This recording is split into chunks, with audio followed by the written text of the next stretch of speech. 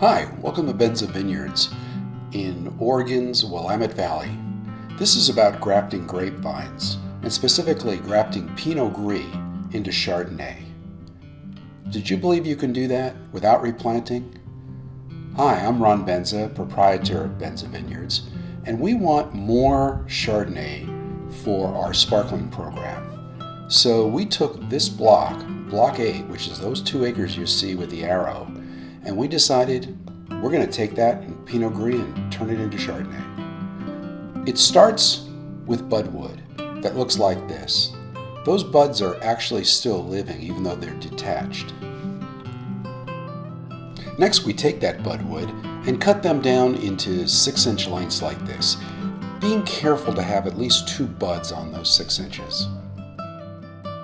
Now the fun begins. Each one of the trunks is cut off, leaving the stump of what you see here. Two slits are made on either side to receive the, the new grafts.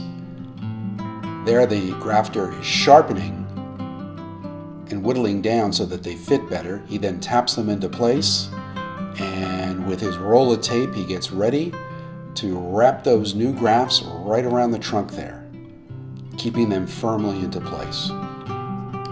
At this point, it's rinse and repeat 2,400 times. That's how many vines we're converting over to Chardonnay. The last thing that's done is to put this heavy tar-like substance over the top of the tape and over the top of the cut vine.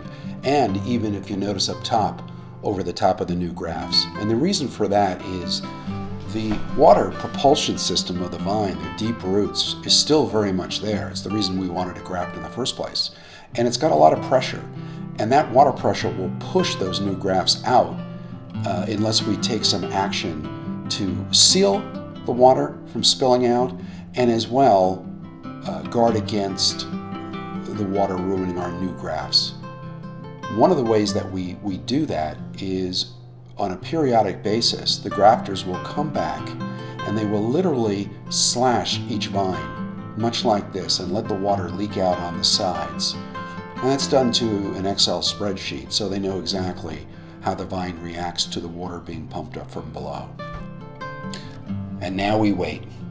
It's all we can do. Nature's got to take its course right now. So we're looking at the buds. Are they are they starting to swell? Looks like they are here.